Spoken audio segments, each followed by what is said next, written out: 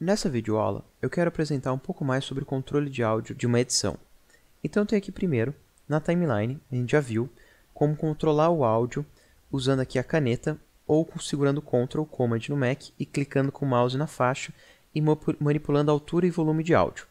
Você também consegue alterar o volume do áudio usando uma opção chamada Audio Gain, porque quando você usa só as barrinhas de áudio, ele tem um limite de mais 6 decibéis. Se o áudio estiver muito mais baixo que isso, você precisa aumentar mais, vai ter que usar o Audio Gain.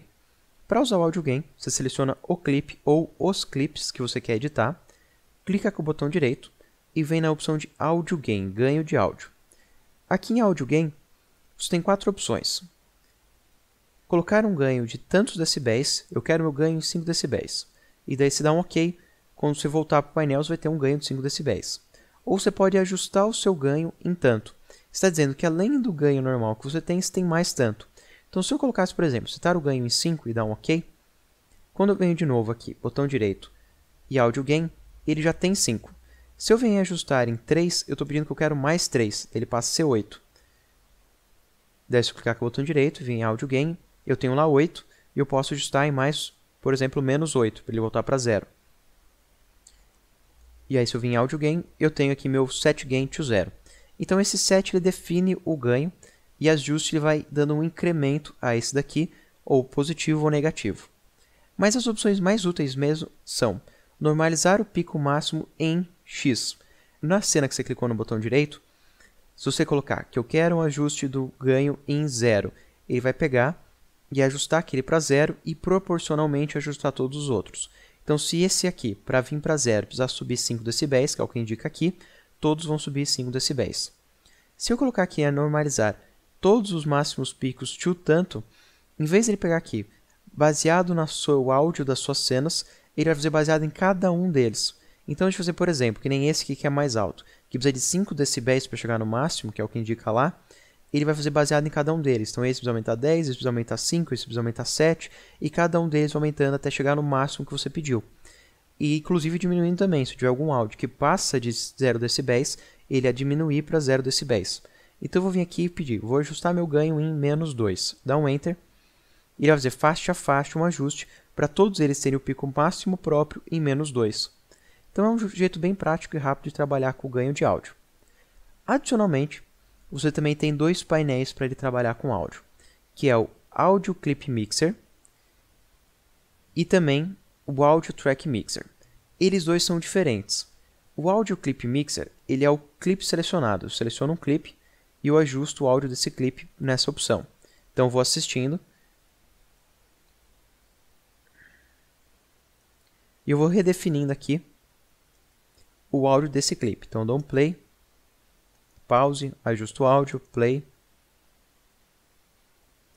E eu estou dizendo que da faixa 1, esse clipe selecionado é esse áudio. Quando ele passa para o próximo clipe, ele já passa aqui a ser outro valor. Eu vou lá e altero esse outro valor. Então, esse valor aqui ele está redefinindo o ganho do áudio através de um painel chamado Audio Clip. E é para o clipe que o teu CTI está posicionado em cima. Se eu vim aqui nesse ponto agora, eu tenho para essas duas faixas, eu consigo ver que aqui ó, até sumiu o marcador, já que eu não tenho faixa de áudio aqui. E eu posso definir aqui o Audio Gain para essas outras duas faixas.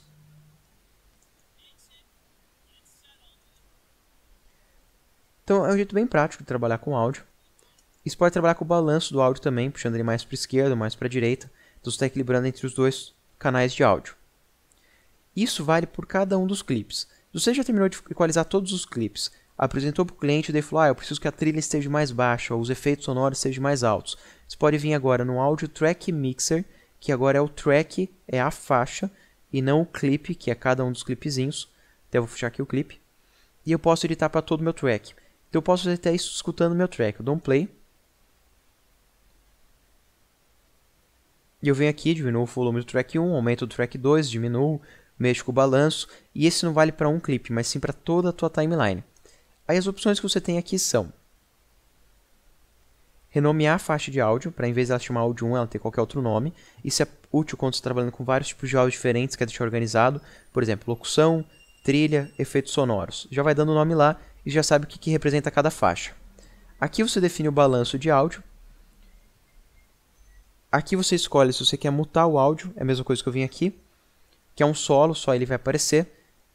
Ou você quer capturar, se tiver com microfone, alguma coisa assim, você clica em REC, define em qual faixa que vai ser, só antes ele pede, configure o teu hardware de áudio em preferências. Daí você tem que ir lá em preferências, editar, preferências, hardware de áudio, e escolher aqui entre os hardwares que você tem no teu computador instalado, qual deles que você vai usar.